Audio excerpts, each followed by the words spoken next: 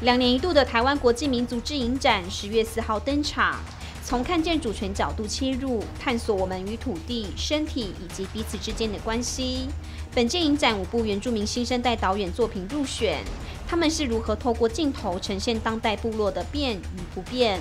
纪录片作为一种影像策略，又要如何形构原住民的观点？请锁定本周六晚上八点的《部落大小声》。